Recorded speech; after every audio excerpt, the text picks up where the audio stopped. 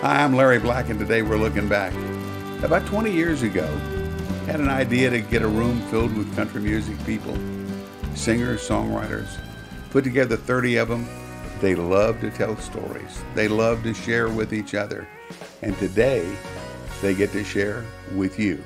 This is Looking Back with Larry Black.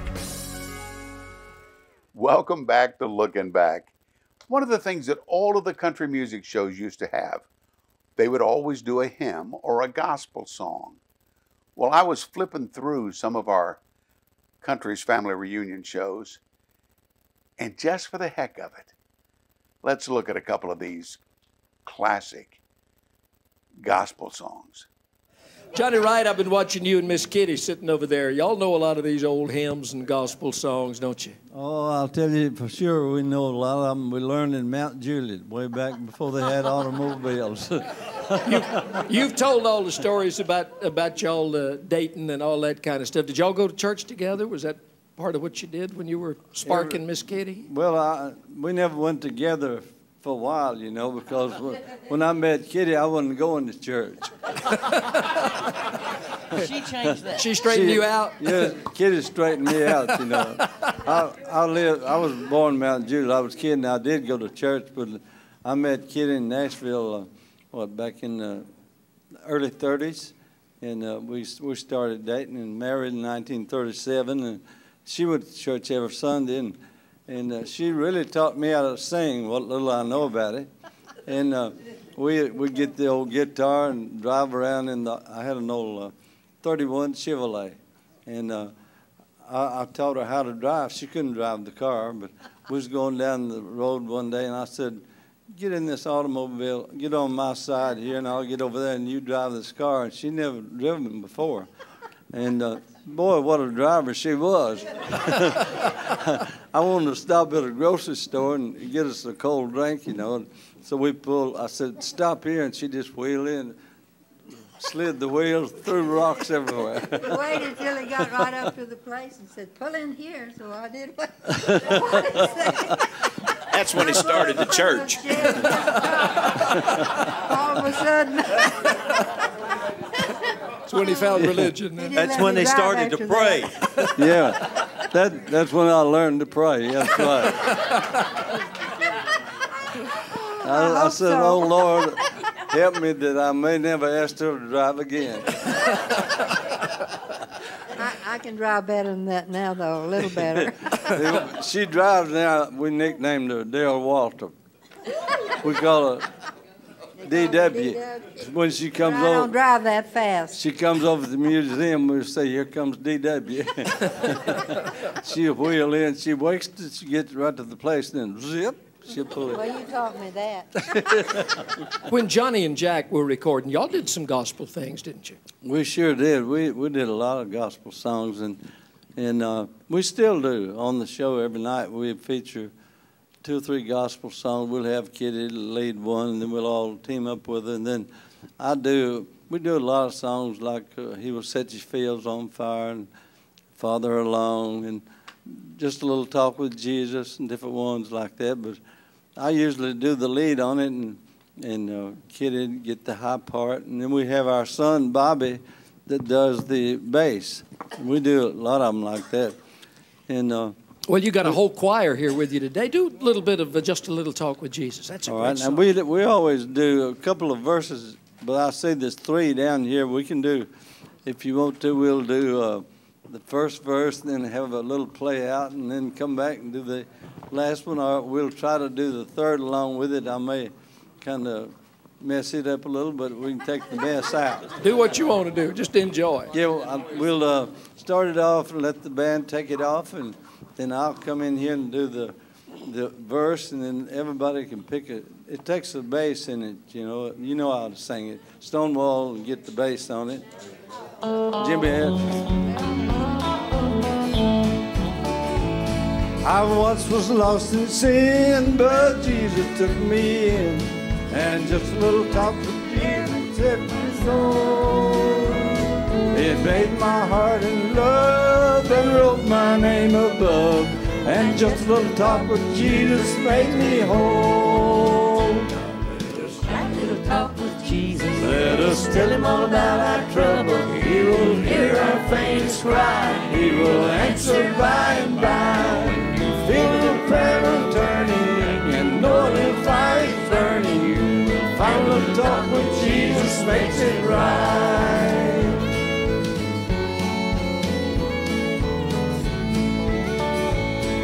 I may have doubts and fears, my eyes may fill with tears, but Jesus is a friend who watches day and night.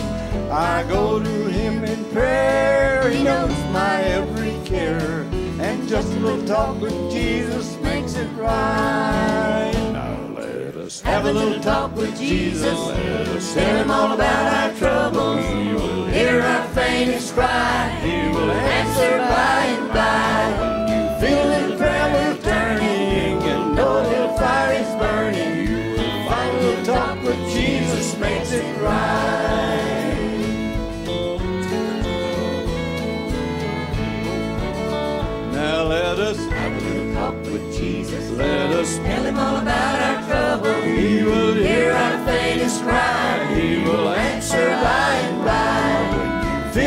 Prayer turning and know a little fire is burning, you will little talk with Jesus makes it right.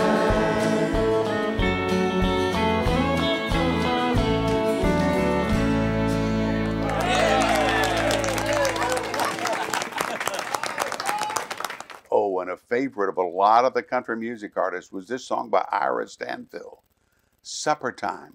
Here's Stu Phillips.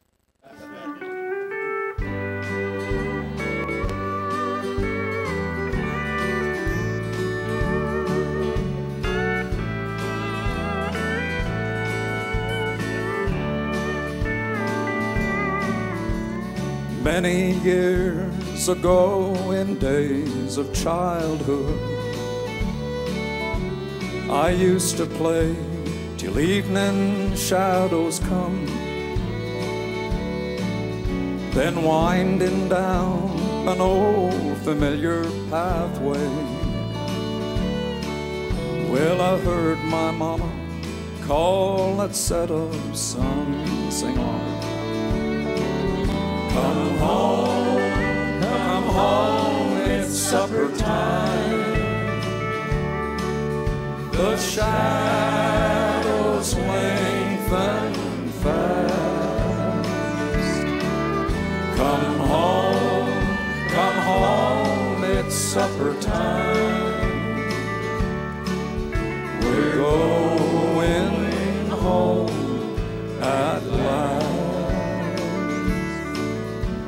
day, beside her bedside, I was kneeling, and angel wings were winnowing the air. Ah, she heard the call of supper time in heaven. And now I know she's waiting for me there. Come home, come home, it's supper time. The shadows lengthen fast. Come home, come home, it's supper time.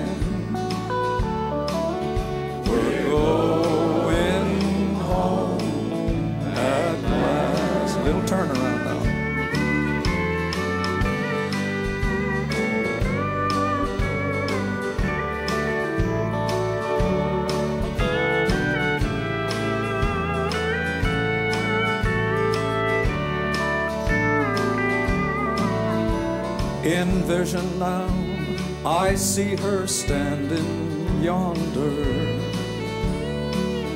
and her familiar voice I hear once more. She heard the call of supper time in heaven, and now I know she's waiting for me there. Come home, come home, it's supper time. The shadows lengthen fast. Come home, come home, it's supper time.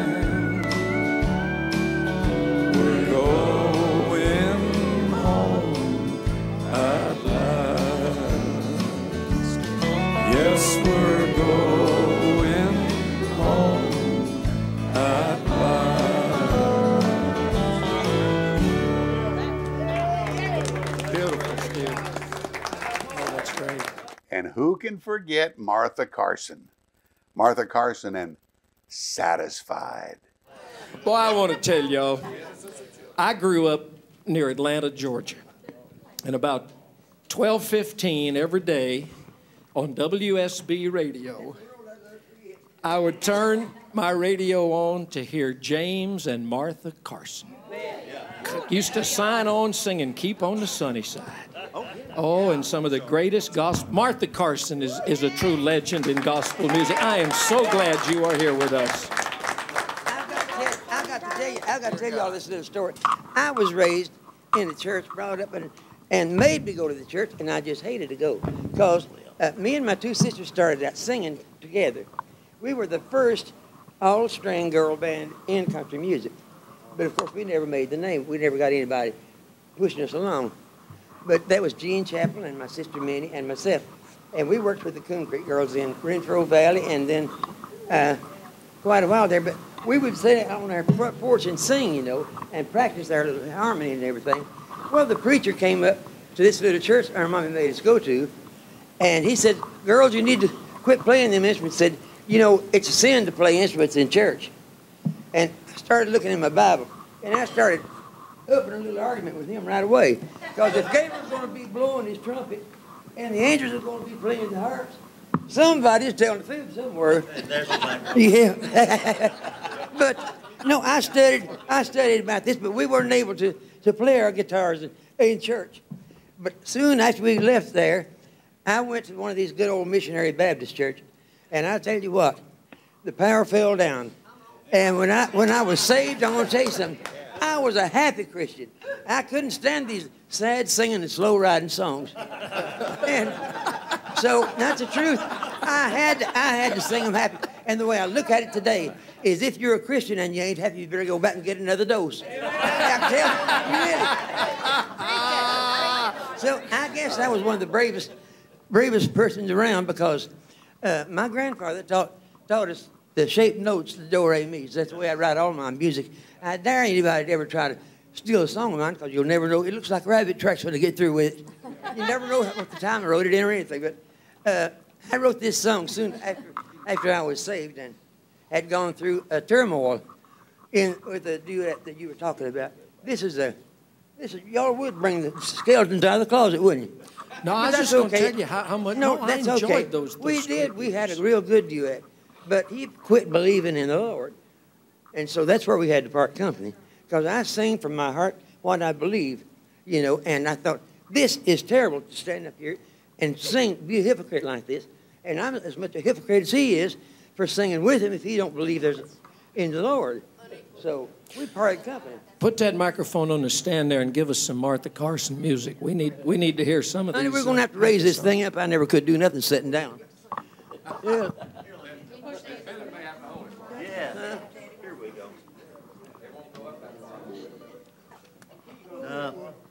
Hey. Yep. Hey, Jack, you know this one too. And Well, I'll tell you what, it takes a bunch to hold the Dale sent microphone this for her, song. don't? Anyway, I'm going to tell you a little bit of how I wrote the One song. on that guitar. the, the, uh, I had lived with this man for nine years after doctors had told me if I didn't get away from him, I was going to have a nervous breakdown. But when he departed faith in the Lord, and we did break up, but I had lived with him all those years because the fans out there, we were so popular, they had named their children James and Martha all over the state of Georgia. You remember that? So, and then the children named their pets James and Martha. Cats and dogs, everything. Really. Old, old James turned out to be a dog. Huh? Yeah, right. Oh, he did. But here's what happened. But see, instead of instead of leaving him when the doctor told me to, I stayed to keep from hurting any of my fans. Yeah. I, I thought, Lord, if they love us good enough to be naming, naming their children and their pets after us, I, I can't hurt them like that. So I stayed on and suffered it out as long as I could. And uh, so then we parted company when we'd gone to the midday merry-go-round. And uh, he would just embarrass me on the stage, you know. It was very sarcastic and all that. So me and Bill Carlisle was starting to cross the Great Smoky Mountains, and my sister Jean and her husband, Salty Holmes. And he says, now get, be sure and get out here and let's be ready to leave right after the merry-go-round because, you know, we want to get there early so we can learn some new songs for the merry-go-round the next day. So I said, okay. But I was the last one getting out there. People would stop me and talk to me. And, yeah, I'm just like a woman. I love to talk. You I know? can tell. I can tell. so anyway, when I got out to the car, my sister and brother-in-law and Bill Carlisle are all in this little huddle. And I'm thinking, boy, they're giving me the devil. I felt inferior anyway because I'd never sung a solo in my life. And uh, I said, well, I said, I know I'm the last one out here, and I'm sorry.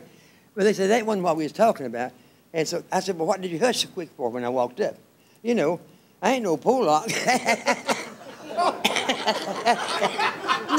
no, well, well, no, listen. Well, you know they look plumb guilty.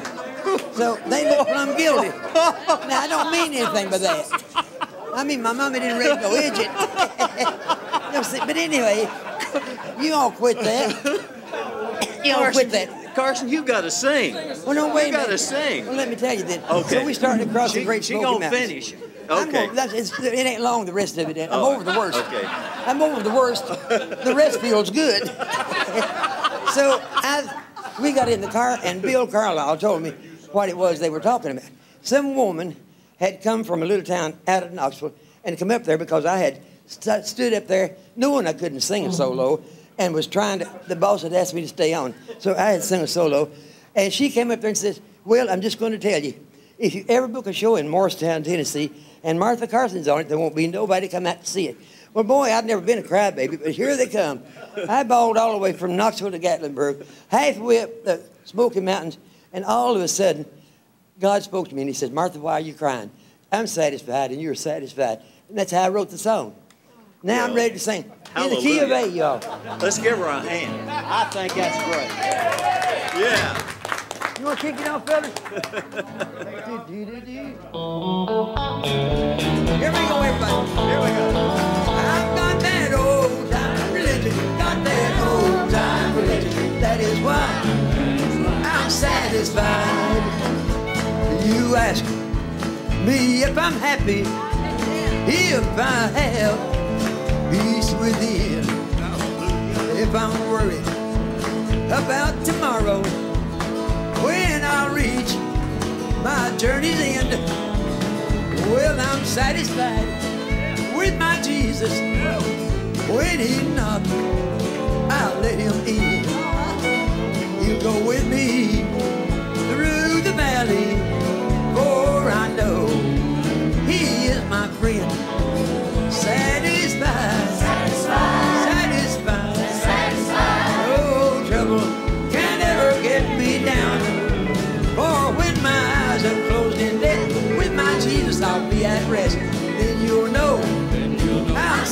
satisfied. Play one, boys.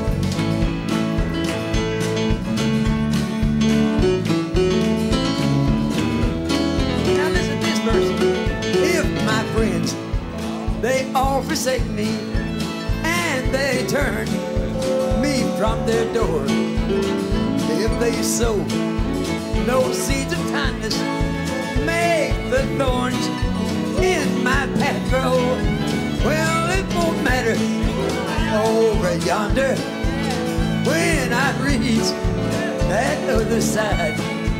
For I'm gonna sit down by my Jesus, satisfied, satisfied,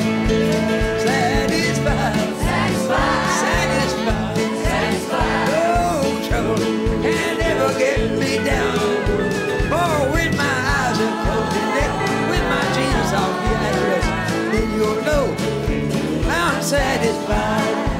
I've got that old time religion, got that old time religion. That is why.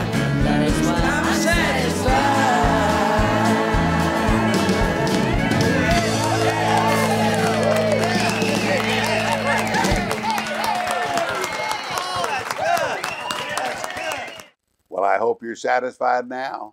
And don't forget to come back next week. We'll have more Looking Back with Larry Black. And remember to remember, oh, you may want to subscribe too.